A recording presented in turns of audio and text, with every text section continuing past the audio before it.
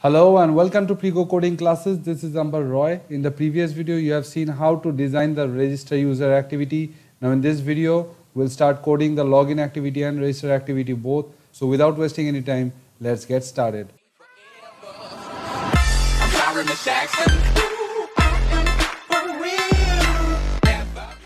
So first of all, we'll open the activity main XML and see all the IDs.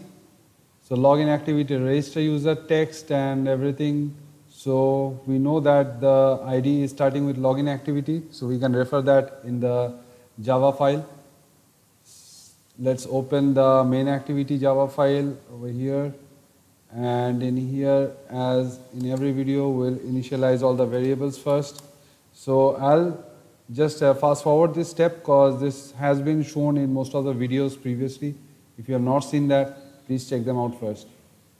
She got two little horns and they give me a little.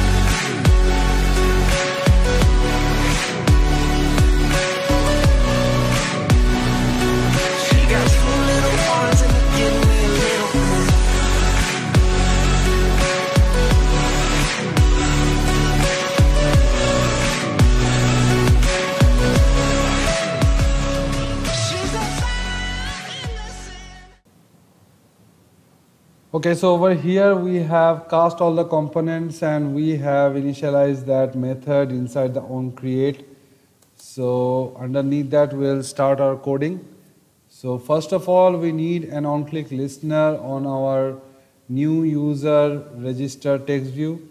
So over here new user dot set on click listener new view on click listener then we'll start the activity of registration but we won't close this login screen because the user might hit back and then exit from the registration activity itself but we don't want that. We want the user to come back to the login screen itself when the user hits back from the registration activity. So start activity. New intent. Then we'll use main activity dot this to register user activity dot class. And that's it. So we'll write a note here that new user on click listener to go to the registration activity. This is for the reference of the people who are going to download the source code. So now we are going to work with the button to login. So I have not implemented Firebase over here in this uh, application. So let me do that first. So tools, Firebase, and it takes time for Firebase to open. Now I need to connect to Firebase, so I connect the authentication first and uh, connect to Firebase. Firebase is getting connected.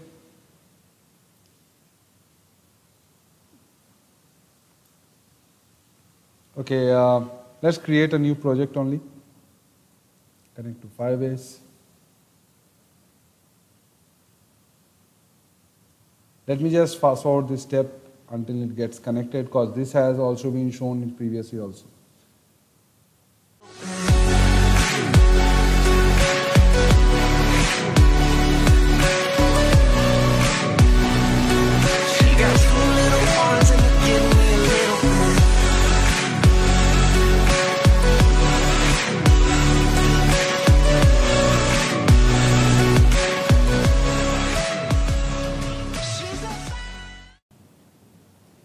So now authentication part has been connected. Now let's move on to the database part. Let's hit back, real-time database, save and retrieve data. Firebase is connected. Just need to add the real-time database to your app. Accept changes. Let's again fast forward.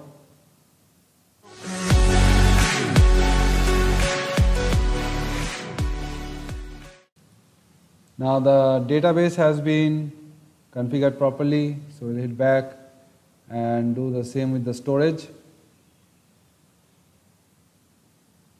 And add cloud storage to your app, accept changes.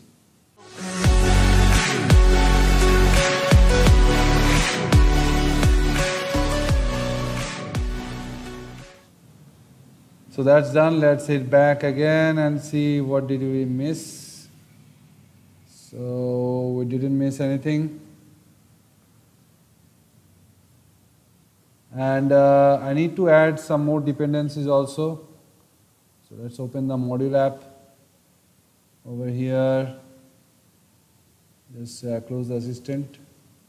So all the recent dependencies has been uh, shown over here. So there is nothing to change. So I'll just uh, stop this video over here and let me just gather all the dependencies that I need extra and I'll put it here and start the project all in one.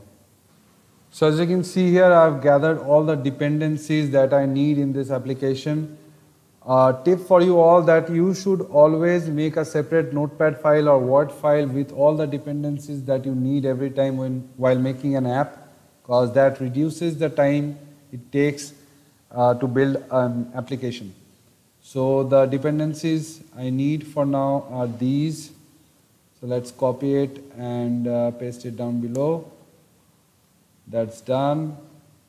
Now I need the Firebase core dependency. I'm copying it. I think this will get updated. And uh, I have the Google Play, Facebook, and uh, Picasso and everything. So let's copy this one also. I'll be using Picasso, Google and Facebook, uh, everything in this. So as you all know that this will be a multi-login application. You can log in through your Firebase authentication email account or you can log in through your Gmail account or through your Facebook account. So this is done. Now let's see what is the version that is available. It's 17.0.0. Oh my god. 17.0.0. Hell lot of updates happened and 17.0.0 and I'm using Android Studio 3.4.1 if you all don't know so that's also 17.0.0 this is also, I guess, no, it's 9. Uh, okay, that, that's it. We are done for now. And let's sync it. We'll again fast forward this thing.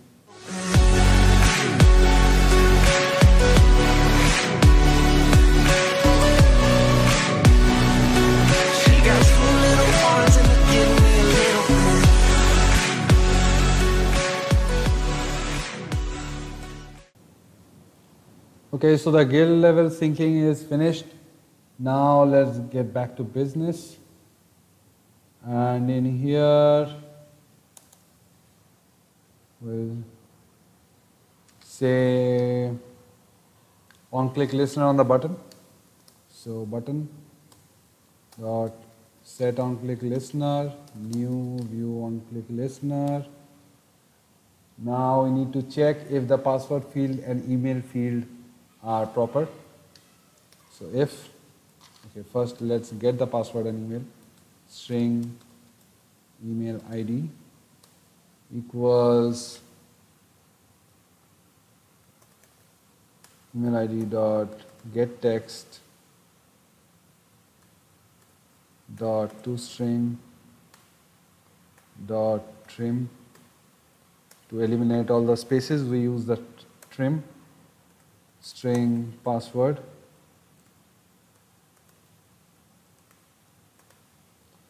equals login activity password dot get text dot toString. Don't want to trim the password because we can allow pass, uh, spaces inside the password. So if email ID dot um, okay let's say equals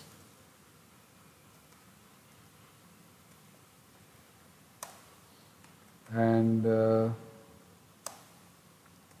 password dot equals then.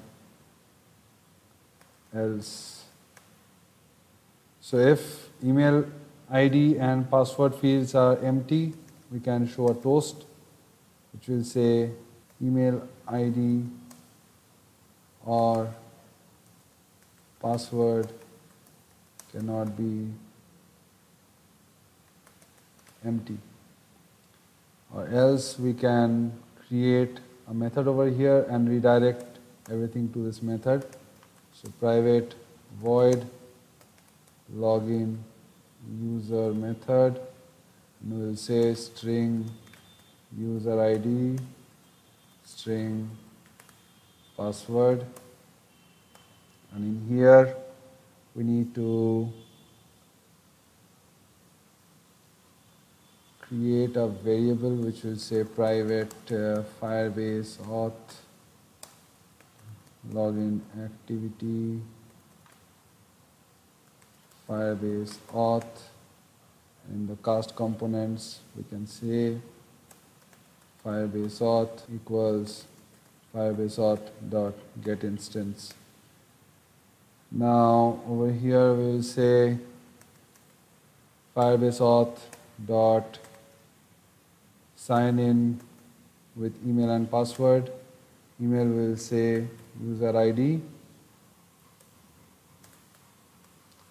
and in the password we'll say password dot add on complete listener new on complete listener. Or what we can add is on failure listener new on failure listener so there's a on complete and on failure so on complete we will say logged in successfully And on failure will show the message of the exact error. So e dot get message. That's it. Now we'll say login method of email ID and uh, password. So that's it. Now this should log in the user and when the user successfully logs in, the user will be redirected to the main program that is not made yet. So we can keep it to the toast. So in the register user activity, we need to again initialize all the variables first. So let's just skip this step. I'm not even fast forwarding it. So as you can see here, we have initialized all the variables for edit text, text view, image view, Firebase authentication, Firebase database, and Firebase storage. Now we have also casted them and we are ready to program the register user activity, but we won't do this in this video. We'll make a separate video for the register user activity because this will take a bit long. So that's it for this video. Follow me on Twitter on my Twitter handle that is at codingprego which is given in the description box down below. And if you want to support this channel with any sort of donations of any amount, the donation links are also given in the description box. Do check them out. So thank you. See you all in the next video. Bye-bye. If you have liked the video, hit the like button, then the subscribe button, and then the bell icon.